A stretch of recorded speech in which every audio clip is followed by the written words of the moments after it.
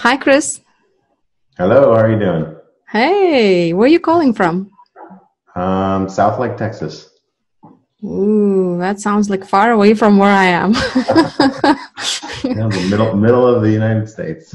Yeah, but it, there are so it seems like there are so many Amazon sellers in that area. You know, Kevin Kings and the likes, eh, at least in Austin. There's, yeah, there's lots in Austin. So Austin's like three hours drive from me. Okay. Uh, but there's a small small community that's like building here. It Seems like more people are moving here. So. So are you hosting any meetups in your city? Um, no, I don't like going. I mean, I'm part of this uh, group on Facebook, like a larger group called Million Dollar Sellers. I and so then the one. local guys that are here, we just arrange. I mean, there's like six or seven of us in the Dallas area, so we'll arrange little meetups. But then I'm attending a couple others. Um, Nate Lind, if you're familiar with him, Mm, no. no, he, what he does meetups. He's he's more into the off Amazon space, big time. Okay. Um, so he has got guys that are doing, you know, seven, eight, nine figures, and they don't even touch Amazon yet.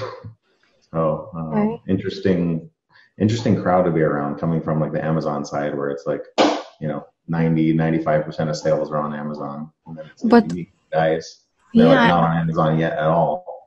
for me it. For me it's very interesting to be around different crowds than mine because Mhm. then you pull those ideas and bring to yours and you like see everything in a different light it, it's Yeah. very useful yeah. especially when you know how it is you start your entrepreneurship journey and you care only about the money in the beginning Yeah. and then Yeah. you go and go and go and then you have a comfortable life and then and then sort of you start caring about different things right like you Right. Yeah. when you get somewhere else so i'm curious what's that something else for you well for people who don't know you i could just tell them that you sold the successful amazon business which you built very quickly in three years and you exited with like mid seven figures is that right Yes.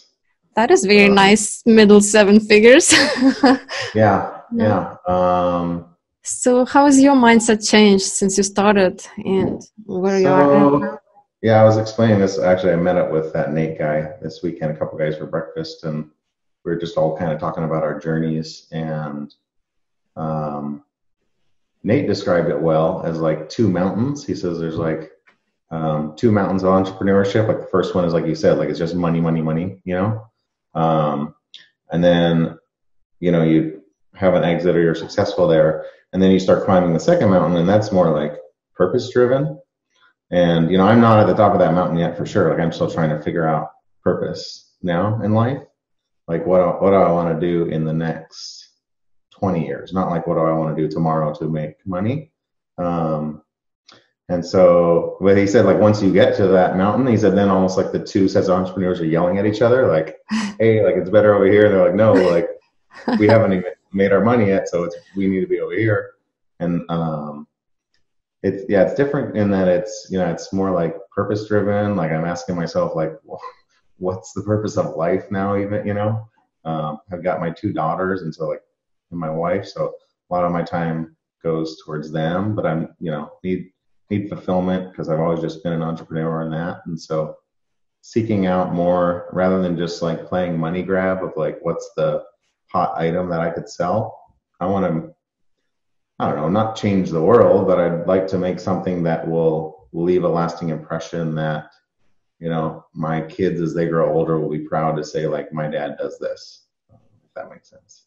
Yeah, I have two little ones too, and sometimes I think actually I have enough income that I could just, you know, spend the whole day just with them, and then, and I don't know if that would completely satisfy me as a human No, being. not I feel like yeah, I ha- I Yeah, need more part- it's part of purpose. it, yeah. yeah. Yeah. yeah, it's like no drive in it. Okay, I enjoy it, but after like 14 hours of enjoyment, now I'm sort of like my brain is like relaxed and empty and ready for something awesome, you know. So back to the laptop and let's create something new. Yeah, yeah, exactly. So you're saying you're still looking for that purpose. Do you already feel about where you're gonna go or not yet? Um, not really. No, I, I, I've you know been been doing things here and there, and um, I am finding some joy. I'm like helping other entrepreneurs now um, through a you know, essentially like a PPC firm that I started. So helping sellers like along their journey. Um, and so it like starts starts out as like pay per click, but then I see so many things they're doing wrong on Amazon. Then I kind of help them with that too. There's some fulfillment there, um, but it's like lacking in that. Um, I don't know. You get you get like a, oh like thanks thanks for helping me like this is awesome I'm doing and you see them doing well and then they you know they come back and thank you but then it's not I don't know it, I want more I want to I want to have a bigger effect right?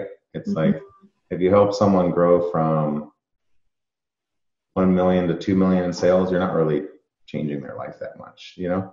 I want to take I, I, would love to help like let's as an example that i would love to go to high schools or junior colleges um, to kids where they don't understand like what they're doing with the rest of their life and teach them that entrepreneurship is an option because um, i think there's a lot of bad information let's say on the internet and then when they're at school you know school is not preaching entrepreneurship and you know, for me, like for me, I dropped out of junior college, um, and so I didn't even know entrepreneurship was an option at that point. I just I got offered a job with a decent salary, and I was like, yes, I need to start working and make money. Um, so something like that, something bigger, you know. Um, but I haven't I haven't quite found it yet. hmm. so, it's interesting you mentioned. It's interesting you mentioned that at schools they don't teach entrepreneurship, and I've been thinking that's a good idea before. Like mm-hmm. it's um, in theory you would want that everyone would be entrepreneur but i have since realized that there are like sort of two kinds of people there's the kind like us who are the mm-hmm. creators and then there's the kind who are implementers and the mm-hmm. implementers they don't like to feel unsafe or in the new environment. You know usually entrepreneur works in a place where everything is undefined. There's no rules. We create the rules and that's why we are entrepreneurs because we love this unknown. We're creating something from nothing right? Mm-hmm. but there's this other kind of people that feel completely unsafe and worried and stressed in that type of environment. You know they like the safety the knowing.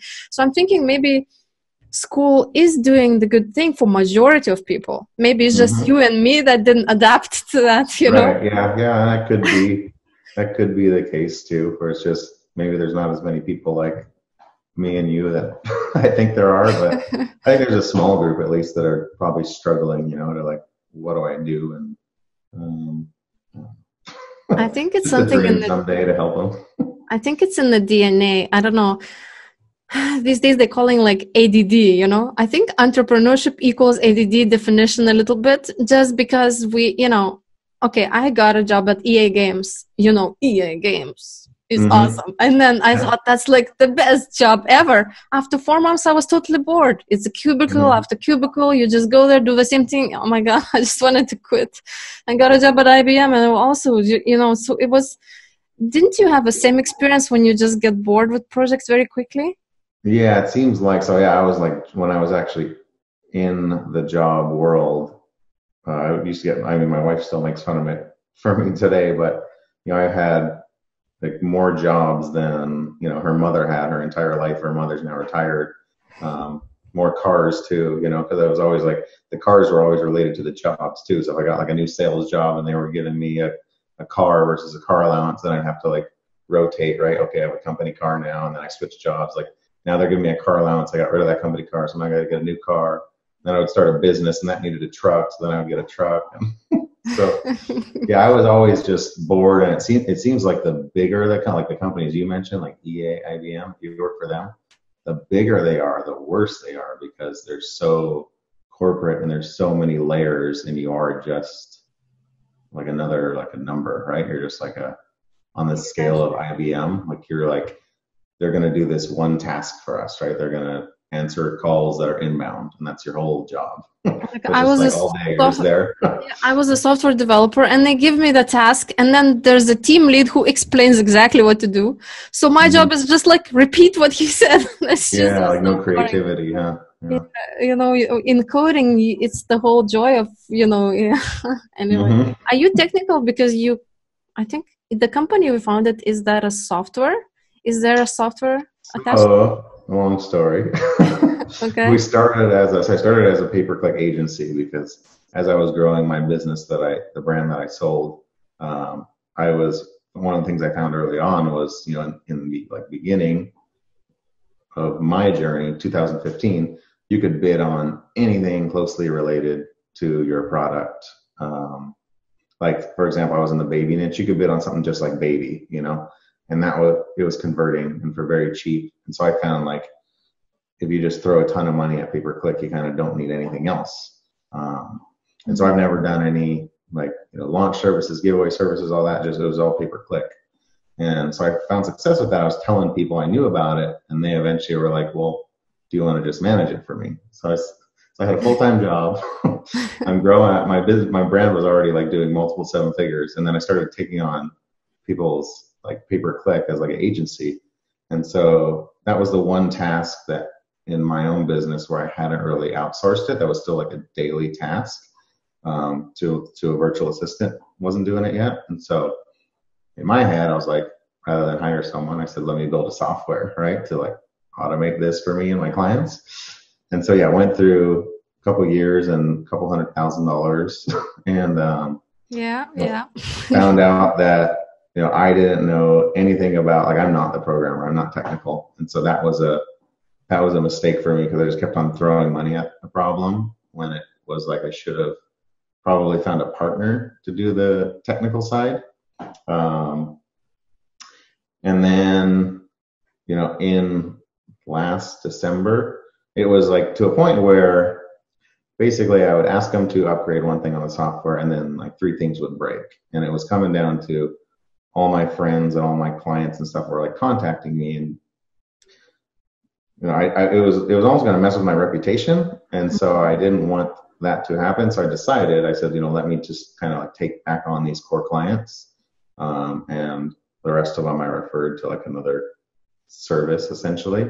And so now I, since then, since last December, I've just been like back to the PPC agency model. Um, okay. I found, you know, there's some things that obviously software has some advantages because it can automate things um, that are redundant. But then there's some things where the software could never catch what I'm catching with like the human interaction. So I believe both have their like their places, you know, in the Amazon PPC world. You know, because now, well, you sort of have an advantage if you would try all of these existing tools. Well, not all of them, there's a lot. but let's say you try like 20.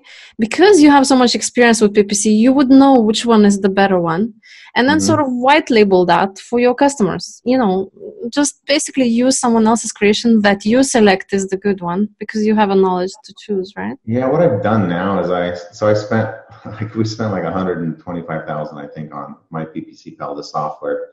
And i've now spent about $500 on excel macros.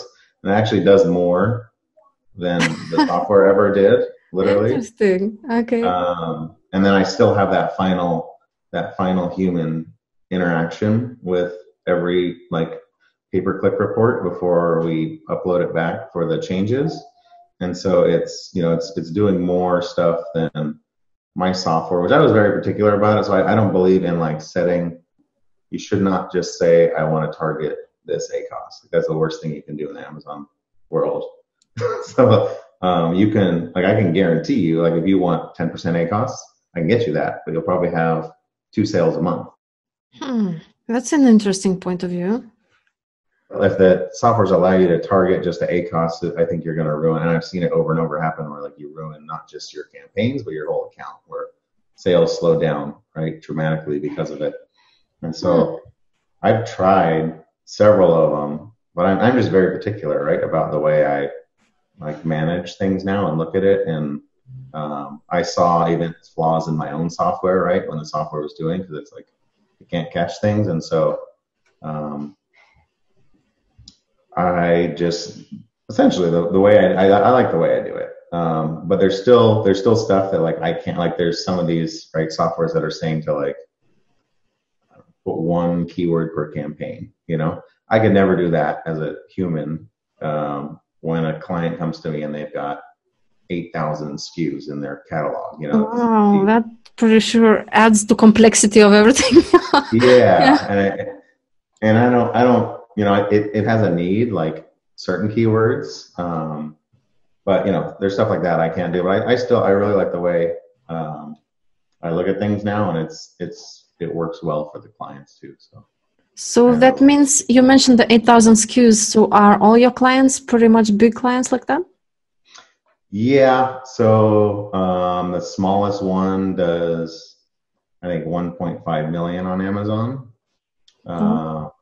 And then, oh no, actually, I'm helping. I'm helping one client right now that's like brand new. For some reason, they just really wanted me to help them. Um, but aside from from them. I'm do uh, it's like 1.5 million is the, the smallest, and then um, the largest one is doing like two million a month. Okay, but to manage all that, you can't do it yourself, right? You have a team, and team. No, is... I'm doing it doing it myself. You are, the, you are doing it yourself. So I mean, I have I have an assistant that helps um, do other things, but as far as like the actual optimizations, I've got me and my Excel macros. So um, uh-huh. They'll go through and they'll essentially like they'll do what I want them to do to each client's report, and then it highlights you know each change that it's made, and then I review those changes myself. So it's really me like scrolling through these reports and then you know put them back into a folder, and then those get uploaded you know back to Amazon. So are these macros pulling on the APIs at all, or just uh, getting reports? Like, what's the macros doing? Um, really, kind of, you know, they're not pulling the reports, so we download, you know, all the reports um, because we also like, you know, certain certain dates for certain clients. So as an example, right, if your products are more expensive, uh, let's say you sell a $200 item, right, and you've spent $30 in the last week. Well, all of a sudden, Amazon gives you a $200 sale, right, uh, at the end of seven days uh, because they, they say the attribution window goes up to seven days, but it really goes up to 10 if you track it. Okay. So for 10 days, a sale can come in at that $200. And, and what if they bought two? And you have a $400 sale that you didn't know about, but you might have paused that order, right? Because you had 30, 40, $50 in spend. But all of a sudden that turns into a 25% ACOS keyword, right? And so the larger the, um, the larger the product costs, the further you should kind of look back and not include those previous days.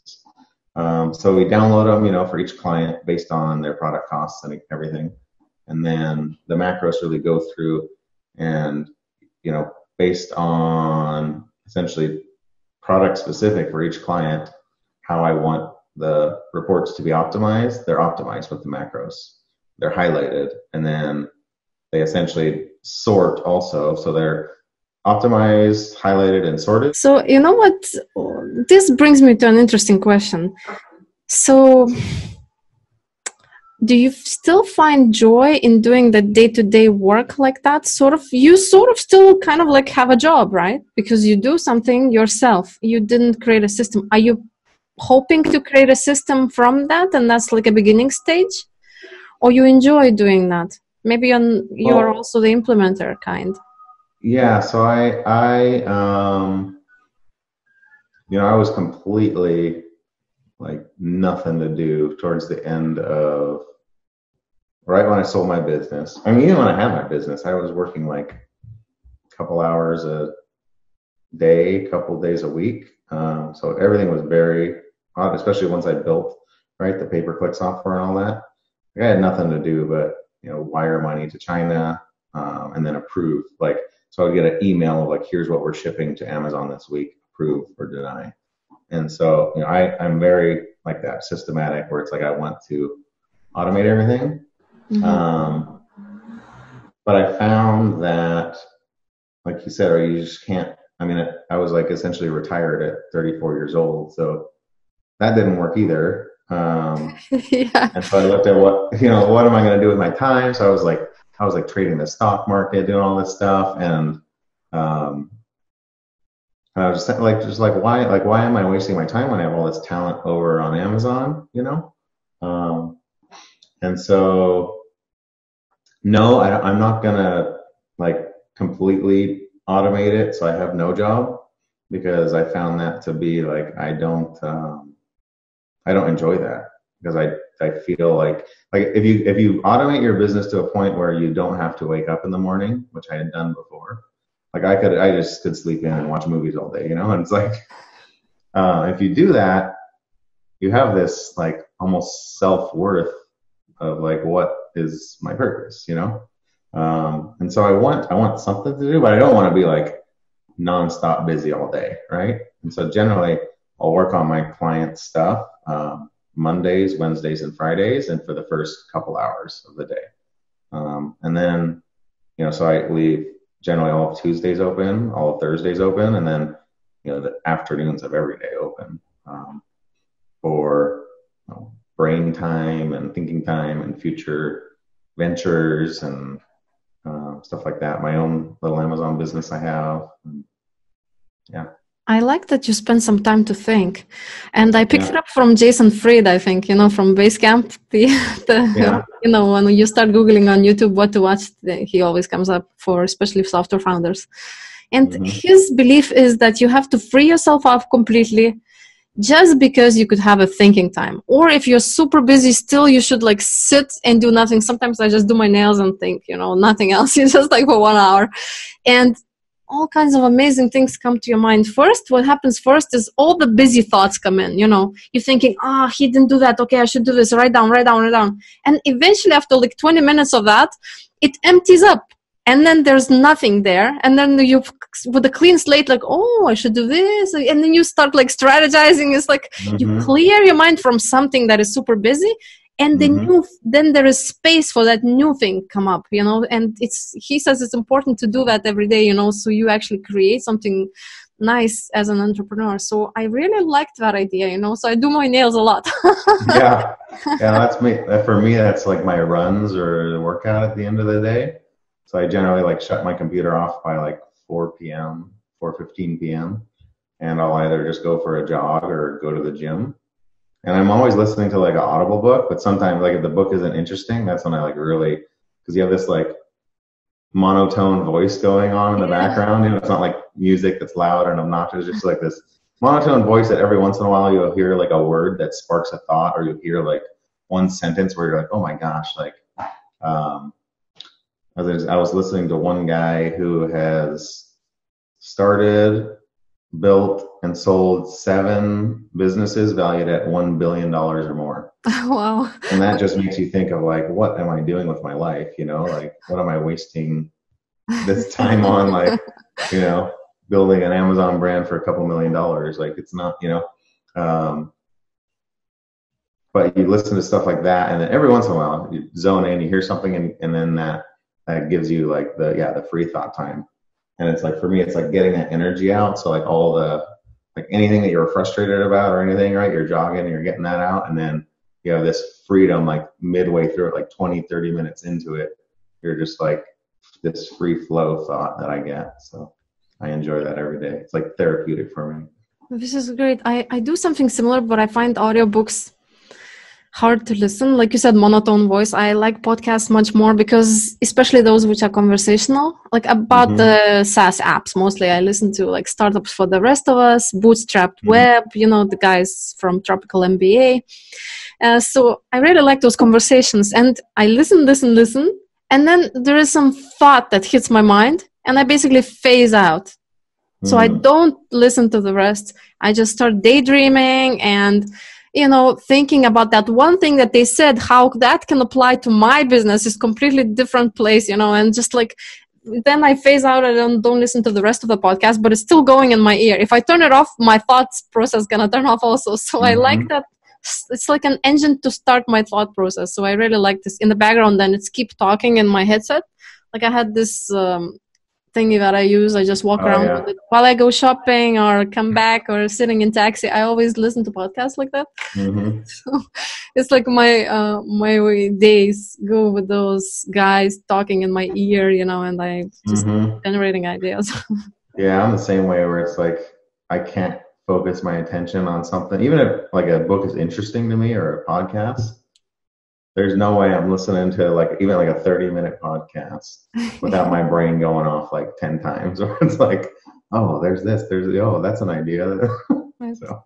Like I told you, that's like a DNA that we have, the uh-huh. entrepreneurs. It's some kind of creative thing, you know. But mm-hmm. the worst thing with that is that and I don't know about you, but me, I cannot stick with something for like to sit down and implement it. For example, there's a spreadsheet and I have to fill out the data. So after like 20 lines, maximum 50 lines, I am just, okay, I already went to check my phone. I went to, I just like forcing myself. My hands are shaking. I don't want to do it anymore. like that bad, mm-hmm. you know? I totally yeah. am good at creating something and outsourcing it. Creating yeah. and outsourcing. Yeah you know those sellers that hired uh, you to do their um, you know 8000 SKUs for ppc do you think that's what happened to them? They're just you know because they're trying to come up with systems once they grow and then there's like no way they can manage it themselves? That's the reason they give to others? So two reasons. Like usually when a client comes to me also i was doing that right before we started talking is like I'll look at their bulk report, right, and I'll just I, will either see a lot of wasted spend or a lot of wasted opportunity. It's usually one of those two things. Um, very rarely will I take on a customer if it's just like I'm doing so good at this pay per click, but I just don't want to do it anymore. Um, in that case, like if they really know what they're doing and what they're looking at, they'll usually hire a virtual assistant to do it, right? Mm-hmm. Um, because they could just teach them like their exact method, you know? Um, it's I think when people come to me, it's because they they don't have an exact method yet, or they've been using someone else who's getting inferior results for them. Um, pay per click is changing a lot on Amazon. You know, they went from this small pay per click engine to the third largest in the world now. Um, and you see all the stuff they're coming out with, right? All the new the different types of campaigns and the different um, ad types and the different match types and the different you know ways that you can break things down. Now they're they're allowing you to drill down better. So so there's also then a lot to stay up on right? And when you're running a a business that's doing you know 200 to a million 200,000 to a million dollars a month I don't think I don't think your focus should be on pay per click if it is then you're not capitalizing on your business, you know? Um, I would say that most come to me because they're either getting, you know, inferior results on what they are currently doing, whether that's themselves, an employee, another agency, a software, um, or they reach a point, right? They reach a point like a breaking point of like I'm spending, you know, so many hours a day on this and I'm still not getting it right you know. Um, and so, but yeah, very very rarely is it just the the time aspect because there's tools, right? There's all these tools now that you can you can sign up for um, to like take away the time aspect. But if you don't know, like if you don't know what the inputs are for the tools, it's like garbage in, garbage out, right? So if you don't know how to set up the tool, if you don't know what like your methods for optimizing your pay per click or any of that in general, you can't really even set up these tools in the first place to run it the way you want, you know? If that makes sense. You know, but um, there was one other PPC specialist that I've interviewed, and he said his strategy is this. Well, there are headline ads, there are sponsored ads, there's this, this, this, all these types of ads on all different platforms, you know, AMS, uh, D, uh, DSP, all of these things. And he says simply if you take one SKU and put all possible types of ads that you can run, you are already maximizing the exposure and you're going to make a lot of money. But I was thinking that's a lot of variations to split test and to watch and keep an eye, and it's gonna like you are basically putting a lot of money into something that I don't know. So, what's your strategy on this? Would you say that is true or? Yeah, um, you know, so for the most part, like you can run sponsored brands. Um, sponsored products are the majority of spend and sales for all my clients across the board. Um, I think it's because the way sponsored brands ads show, they're very ad looking to the shopper, right? And it's like this banner ad, you know, or the like the little product banner below the buy button, whatever it is, but they, they're just different looking versus like the sponsored products ads.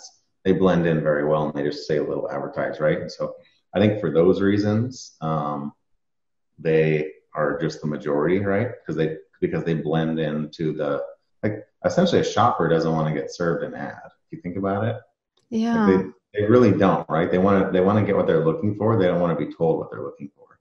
Um, so sponsored products is the majority of spend and sales. Um, and when I look at a customer, like if I'm if I'm um,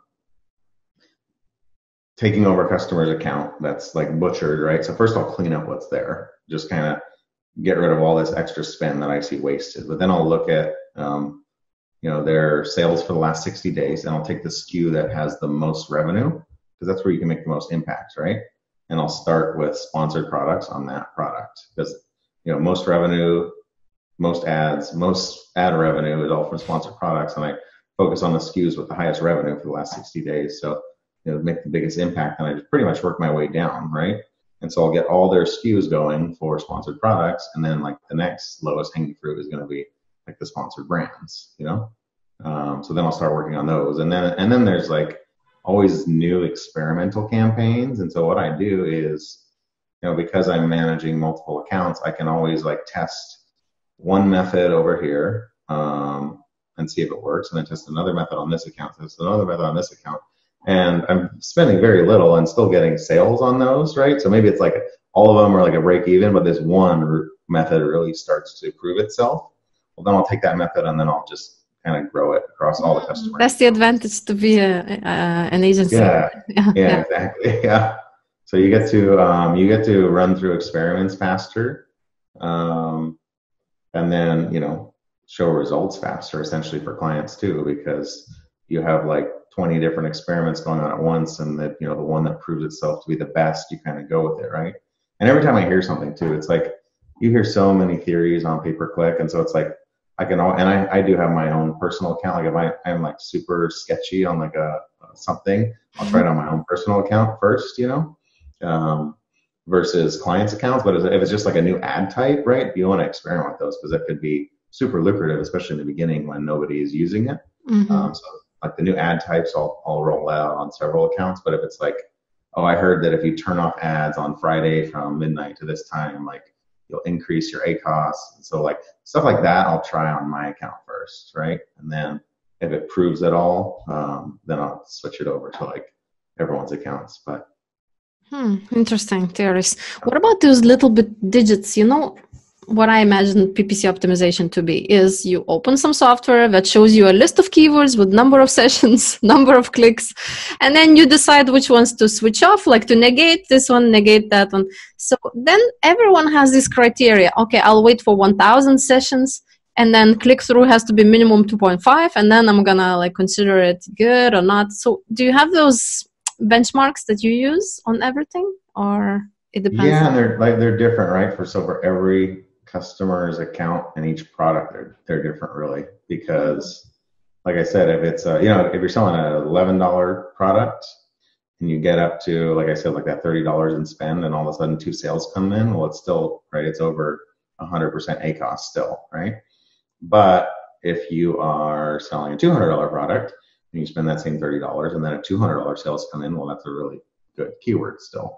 Um, so each one has different like one time frames, but then also you know metrics that you look at those for based on a lot of things, you know, and so, and then it's also based on where the product is at in its cycle. So you don't want to optimize a brand new product the way you optimize a product that's a number one bestseller. Um, you know, you can probably be so you can probably be more flexible, in other words, with the bestseller. You know, um, versus a new product, you want to take any sale you can. So you may let ACOS go longer. You may let, you know, sessions be more, you may let all this stuff, right? You have to be essentially more aggressive um, with your pay per click efforts too when you're launching a product or if you're not ranking well or if your star rating drops or, you know, if you got new competitors coming to the space. So, which is like everyone right now. but um, you know, every every single product is is different. Every single client, and then each client might have different um, goals with pay per click. So I take that into account too. Um, and then it also depends on like your brand presence, right? So if you have a awesome brand presence off Amazon, um, that reflects in everything on Amazon, including your pay per click. Um, so you can expect lower ACOS then, and you don't have to be as aggressive on new launches because you have a brand. So um, it really depends on client and product specific. Um, but yeah, you know, there's there's stuff that I believe in that some people don't. Like you know, there's like you should never have a price, right? You should never have a or you should never have a keyword. Sorry, that you say I'm going to run this no matter what the price. Um, that's just hurting everything. Unless it's uh, your brand name, right? no, even that. No. If your if your brand name is not converting and it's at 250 percent ACOS, no. There's probably 10 different other ways that you can get your ad to show under your brand name without bidding on that specifically. So like, no, I don't think that's the way to do it, you know, all, all of the data. I'll ask you one more question. I don't have a lot of time in there left, but I have another question. You know, when I started doing PPC myself, I thought that the best idea is to find as many keywords as I possibly can. So I used all the tools and just got like 10,000 keywords for my, you know, dresses that I was selling. Mm-hmm. And basically it ended up it ended up to be so expensive that I couldn't afford to keep testing it. it the test mm. was never ending. Some are like you're waiting for these 1000 sessions to come on and some keywords never even get those 1000 sessions. So they spend like 5 cents on that keyword, 5 cents on another keyword and eventually it becomes like a big amount you're losing every day just waiting for those 1000 sessions to come so you could decide, make a decision. Mm-hmm. So what's your strategy with that? Do you start with like a set of like a small set of keywords or a large one? Yeah, so I used to right I used to the, the blanket approach like you're talking about used to work just perfectly fine. Um, 2015, 2016. As I've evolved and, and Amazon has evolved and there's more competitors, you know, you have to eliminate a lot more of the junk on the front end. Um, and so, for example, like if you're selling, let's say, bed sheets, and you run, you know, a reverse ASIN tool, um, you find 7,000 keywords, right? we have to start eliminating like because you're not going to advertise on 7000 you know? Um, so you know first things i do is i kind of go let, let's just say you're selling white bed sheets. Well under bed sheets there's going to be all kinds of stuff in there like disney bed sheets spider-man bed sheets elsa anna bed sheet all these like popular you know brands and stuff and characters for bed sheets that are under there um, and let's say you're only selling white and gray so then you start running into you know pink and blue and orange and all this color bed sheet. So you essentially eliminate all those groups, and now each negative you add, um, you know, if you neg- negate Disney, that might take away 100 keywords, you know, and then you negate pink, and that might take another 100. And so by the time of it, you end up end up with like 2,000 keywords. And so I'll take those 2,000, and yeah, I'll bid on 2,000. Um, but again, it's it's all about your approach. So you can't just you know brand new product, you're launching it. I'm gonna take 2,000 keywords and I'm gonna bid two dollars a click. Um, you will get destroyed, right? You'll just get like your wallet will get destroyed because um, the very generic ones like white bed sheets, cotton, um, those are going to you know get a lot more impressions, a lot more stuff, and and you're they're going to essentially like suck all the money from that campaign, right? Uh, and then the the other cool long tail stuff that might convert because nobody's really bidding on it, isn't getting enough attention.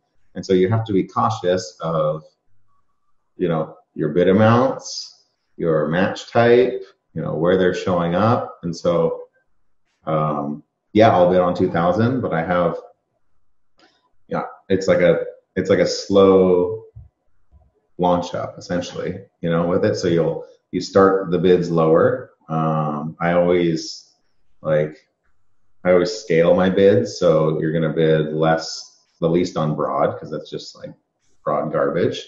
Uh, a little bit more on phrase, and then the most on exact. Um, but then you have to be cautious with exact because if you bid too high, like I said, on like white bed sheet, you know, mm-hmm. um, that's a very common search term, or just bed sheet by itself. You're going to get all kinds of people, and you might only be selling king and queen bed sheets, right? But bed sheet can be, you know, twin bed sheets. It can be like all this stuff, you know. So um, yeah, I bid on, I still bid on 2000. I don't bid on like 7000 like I used to. Um, but I have a, I have a scaled approach where I like scale it up slowly to like waste the least amount of money to just get data back to start the process. Mm-hmm. But yes, when you start, you have to expect like a brand new product, like if it's a seasoned product and you're you're going, you can get your ad to like break even almost like you know day two um, and then optimize it from there. But if it's a brand new product, you have to you have to expect a higher ACOS in the beginning, like losing money on it, unless it's just all like an amazing product that you release that isn't out there on the market. It's so unique that um, it's going to convert well. Um, so if it's not that, you can expect you have to expect a higher ACOS in the beginning until you get the data back to because everything you think it's going to convert for, it might, but that that like might not be the golden keywords. It might be like this random thing that you never thought about. And you're like, I would have never even you know bid on that had I not done this super wide approach to finding all these keywords. So. Hmm, very interesting.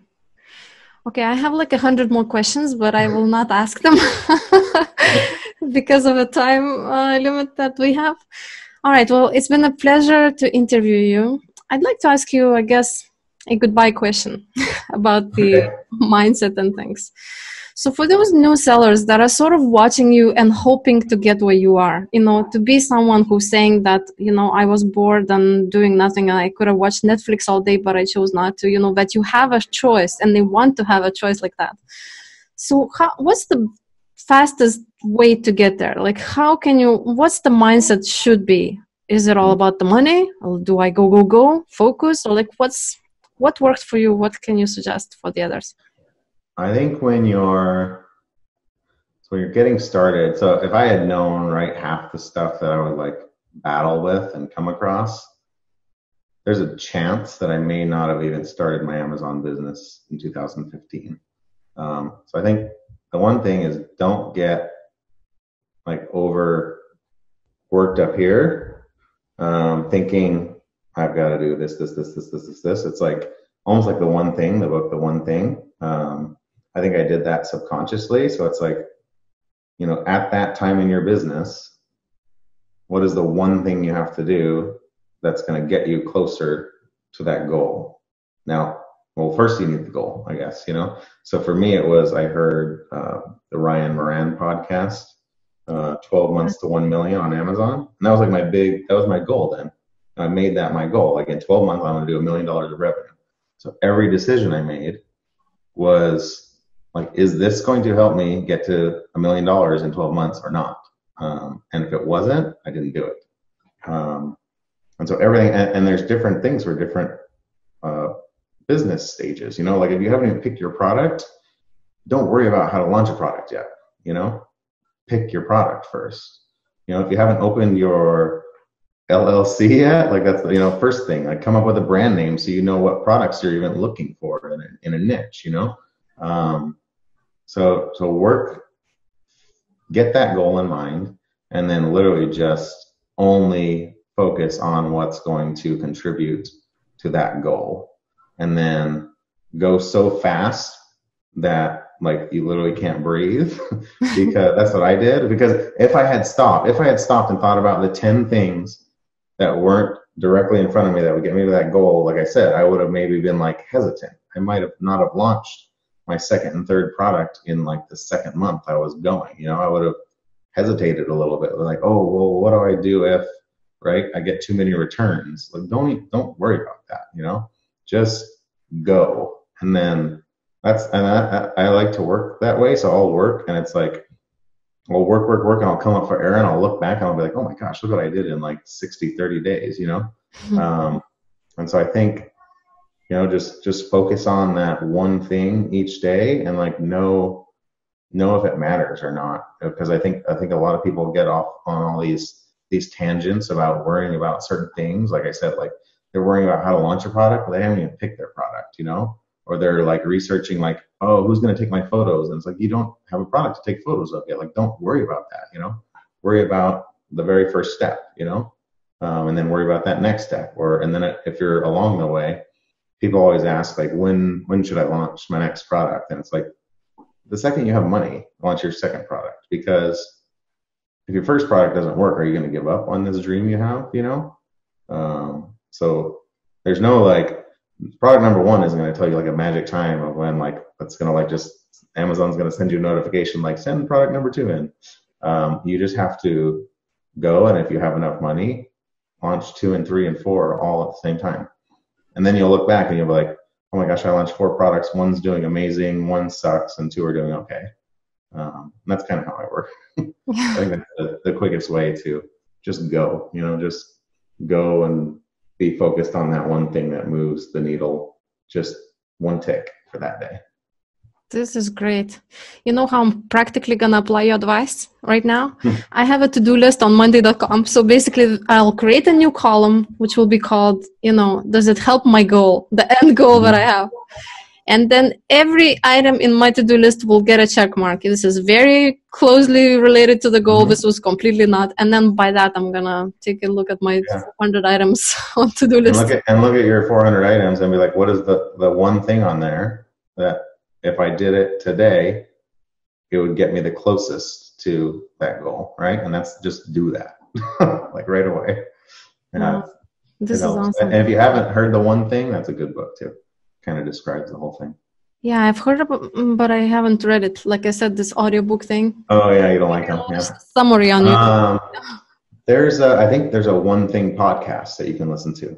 Oh, okay. That yeah. So, that. so Keller Williams is like the largest I think, real estate broker in the either the world or the United States. And he's one of the guys who wrote the one thing. Um, well, he hired a guy. I think his name's Geoff Woods, and Geoff Woods now runs the. He's like one of the higher ups at the like the one thing business that's not Keller Williams, um, but then he also runs the podcast. Um, okay. Or they at least started. Maybe there's even a different host now, but they have a one thing podcast that talks about the they essentially drill down into like lessons from that book and then just like dedicate 30 minutes to the lesson but like one paragraph of each you know okay. chapter. So it's a good podcast too. Yeah. so how can people connect with you if they if they want to connect with you? Are you looking for more customers at all or do you have any capacity? Yeah no i'm looking for yeah more customers. Um you know like i said general like i don't I really can't help, or it's not gonna it's not gonna be in your best interest for me to help if you're like a newer seller, uh, if they're newer sellers, because it's just the, the cost, right? So I have a fifteen hundred um, a month account cost minimum. And so usually that's like if you're doing a million dollars in revenue or you're spending ten thousand a month on ads. And that's because I like to come in, like I don't like to take out an account unless I can at least save my fee for them monthly. Mm-hmm. Or increase their sales so much that it's paying for my fee. So one of those two things have to be in place for me to take on the new account. Um, but for those that are in that range, yeah, I'm looking for new clients. And so you can, I mean, you can reach out to me, right? If you're just looking for like a, I don't know, someone to throw an idea off of too, if you want. But uh, Chris at myppcpal is my uh, email address for like clients or you know, if you're if you're really struggling, like don't send me questions like that you can find on Google, right? Um, but I, like I said, I like to help people too at different stages of their business. So like you're really stuck on something and you can't find the answer, you can feel free to reach out to, and I'll answer it if I can. Great. Well, thank you very much for coming to my show, and I'm looking forward to seeing you somewhere at some events that we yeah. may speak at together or something like that. Right. Yeah. All right. Well, I'll say goodbye then. Take All right. Thanks for having me, Paulina. Ciao. Bye.